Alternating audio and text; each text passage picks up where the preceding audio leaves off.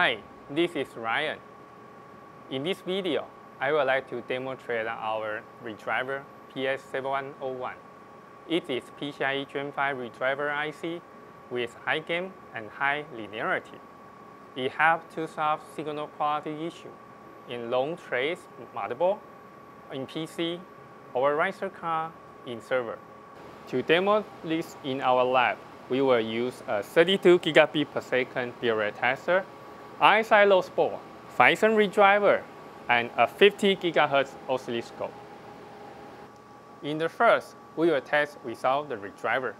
In both scenarios, we are simulating the situation that happened in the server or PC.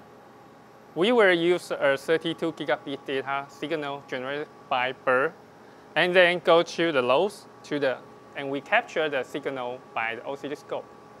Let's see how signal will become.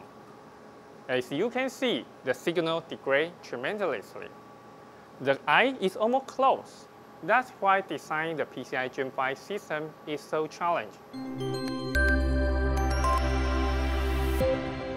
Let's see how Phison redriver can extend the signal loss to over 20 dB and still maintain signal quality. In the next step, we already connect our redriver between the load board and oscilloscope. Let's check it. As you can see, we have really good eye. Phison can also adjust the parameter to help you um, meet your requirements.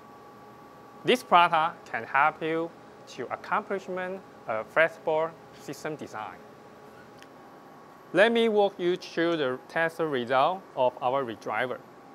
This chart showing the eye-high ratio vs the loss in the dB unit.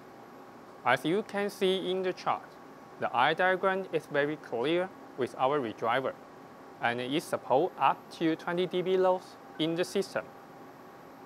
With the Phison PS7101 redriver, we can help our customer to conquer the PCI Gen 5 system design challenge and create a win-win ecosystem partnership. Thank you for your watching.